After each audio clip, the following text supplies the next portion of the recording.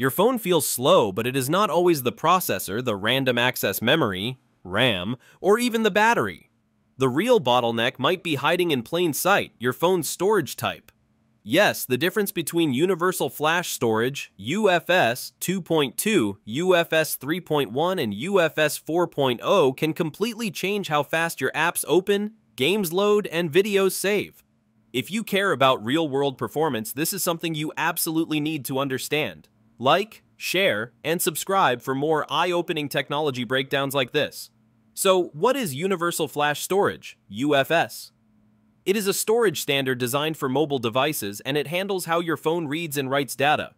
Think of it as your phone's internal highway. Slower highways cause traffic jams, while faster ones let everything flow instantly. Let us break down the three main versions in use today. First, UFS 2.2. It is commonly found in budget and lower mid-range smartphones. UFS 2.2 is an improvement over the earlier UFS 2.1 and introduces a feature called Write Booster which helps speed up writing tasks by temporarily using unused read-only memory as cache.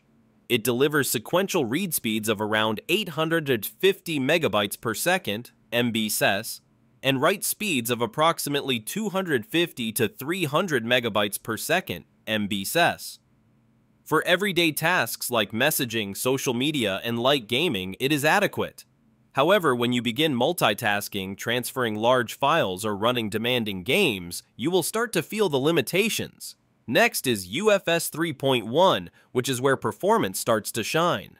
UFS 3.1 is typically used in upper mid-range and flagship smartphones. It significantly boosts speed, offering sequential read speeds up to 2100 megabytes per second, MBS, and write speeds around 1200 megabytes per second, MBESS.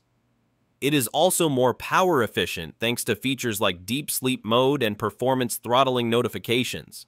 These not only enhance speed but also improve battery life. With UFS 3.1, your phone can open applications nearly instantly, load games faster, and handle high-resolution video files with ease. And then we have UFS 4.0, the latest and fastest standard as of now. Launched in 2022, Universal Flash Storage 4.0 doubles the performance of UFS 3.1. It delivers sequential read speeds of up to 4200 megabytes per second, MBS, and write speeds of 2800 megabytes per second, MBSS. Despite these blazing speeds, it is about 46% more power efficient, making it ideal for high-performance smartphones. Devices equipped with UFS 4.0 are optimized for artificial intelligence-based tasks, 8K video recording, high-end gaming, and seamless multitasking. So which one should you choose? If you are buying a budget-friendly phone and only need it for basic tasks, UFS 2.2 will get the job done. But if you want solid performance for multitasking, gaming, and long-term use, UFS 3.1 is the sweet spot. And if you are looking for the best of the best, flagship level performance with future-proof features, UFS 4.0 is the way to go. Here is something most people do not realize. Smartphone brands rarely advertise storage type clearly. Always check the specification sheet or reviews before making a purchase.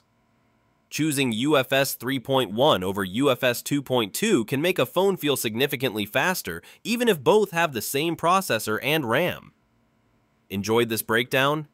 Tell me in the comments, do you want a similar deep dive into RAM types like low power double data rate 4x, LPDDR4X, versus low power double data rate 5x, LPDDR5X? Also, can you guess which smartphone was the first to launch with Universal Flash Storage 4.0? Drop your answer in the comments. Like, share, and subscribe if you learned something new. And stay tuned for more content that helps you become a smarter tech buyer. Would you still buy a smartphone in 2025 with Universal Flash Storage 2.2? Let's discuss.